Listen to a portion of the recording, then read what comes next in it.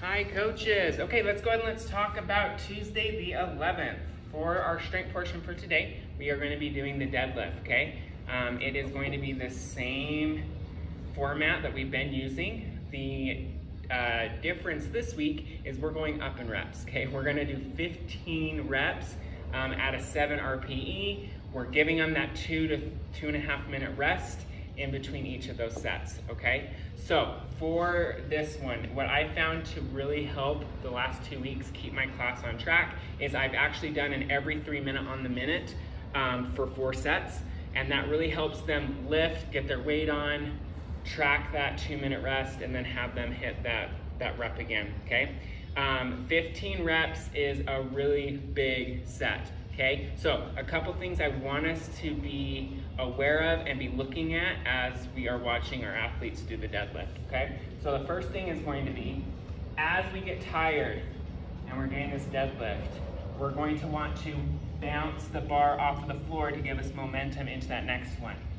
When we bounce the bar off of the floor, it's hard for us to maintain this good position because we have now sent force down here and we're now pushing into the floor when we should be trying to stay nice and tight as we're pulling away from the floor in that deadlift. So it's like, um, it's almost like trying to kip off of the floor. You're going to lose tension and then try to gain tension really, really fast. Well, when you've got a bunch of weight on a bar or you're already compromised because you're 12 reps in, it's going to be really hard for you to maintain and get that tension back really quickly, which is then to give us a greater chance of injury. Um, and also, by pulling good from the floor every single time is how we're going to get stronger in that deadlift. Okay, so making sure that we are showing control. And with these 15 reps, it's a 7 RPE. So this should be a 7 based on how they're feeling. There should be no percentages here.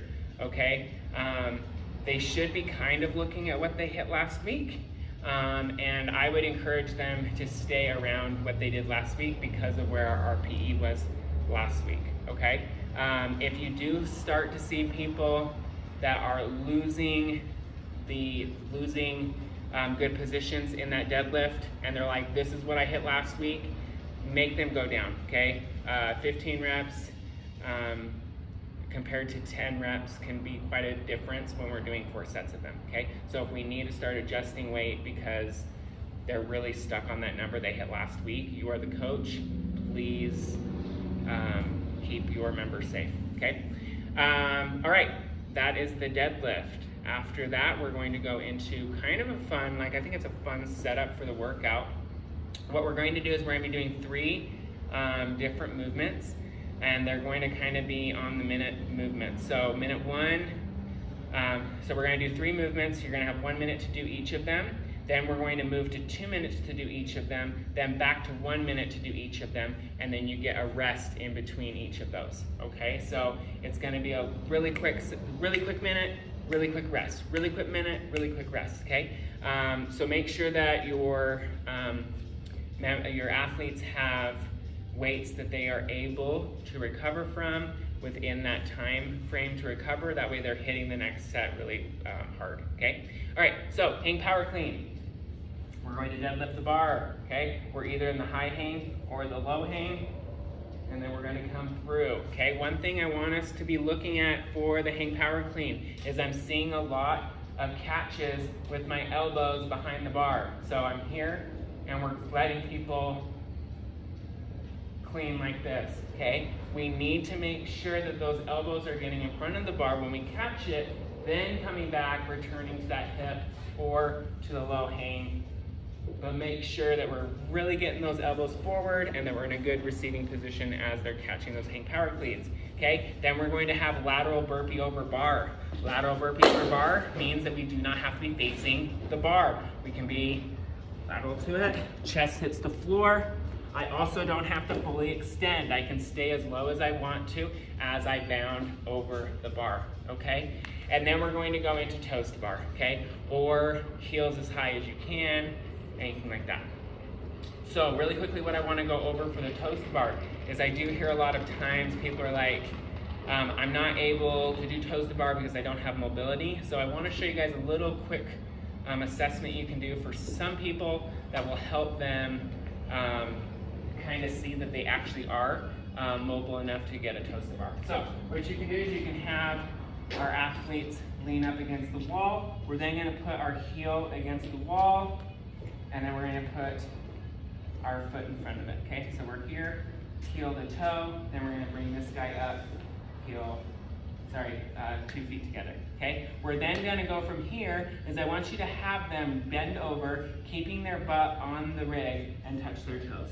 Okay, if that means they need to bend their knees, they can bend their knees. Okay, then we're to sit here for a little while, and as we're sitting here, I want you to tell them to keep pushing their knees towards the rig and see if they can straighten their legs, okay, with them still touching their toes. If they can't, then just have them hold that position. Then have them roll up, and then have them try it again. And as you do this three or four times of having them press their knees towards the back, they'll actually hopefully be able to get a little bit, um, get some length there and be able to touch.